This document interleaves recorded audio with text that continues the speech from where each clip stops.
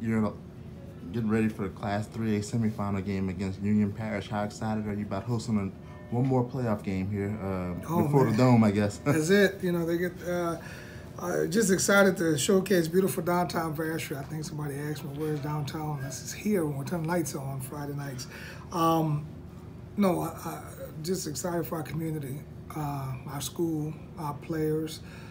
We've, uh, you know, we like to say we're one, and it's our time. So while we have this opportunity, it's our time to take advantage of it. So it's going to be electric here on Fridays. You know, we expect it to be, you know, a lot of energy.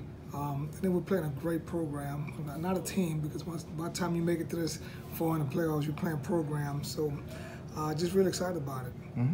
And you mentioned, like you say, you know, I mean, when you get to this level of the playoffs, everybody's good. And right. You got Union Parish coming in here. I know they're a 12 seed. Most people right. probably didn't expect them to beat us far, but here right. they are.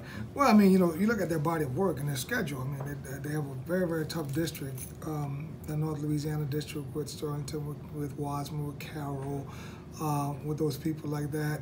Um, and they, they play.